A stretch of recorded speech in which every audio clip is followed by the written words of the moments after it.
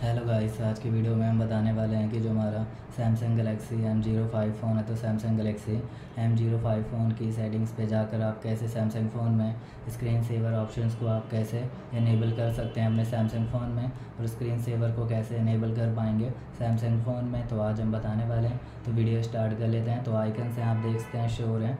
तो स्वाइप करना है स्वाइप करते ही सेटिंग्स पर जाना है।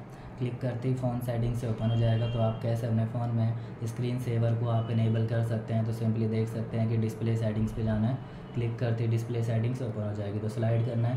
तो स्क्रीन सेवर आ जाएगा। स्क्रीन सेवर को आप चालू करना चाहते हैं और कोई भी स्क्रीन सेवर में एनिमेशन शो करना चाहें, कर सकते हैं। इस तरीके से फ़ोटो पर जाना है। सेटिंग्स पर जाकर बस आपको इसको अलाउ कर लेना है। कोई भी फ़ोटो सेलेक्ट कर लेनी है, फिर आपको अलाउ कर देनी है। गोइट सेटिंग्स का यूज़ करके बस परमिशंस को अलाउ करना है।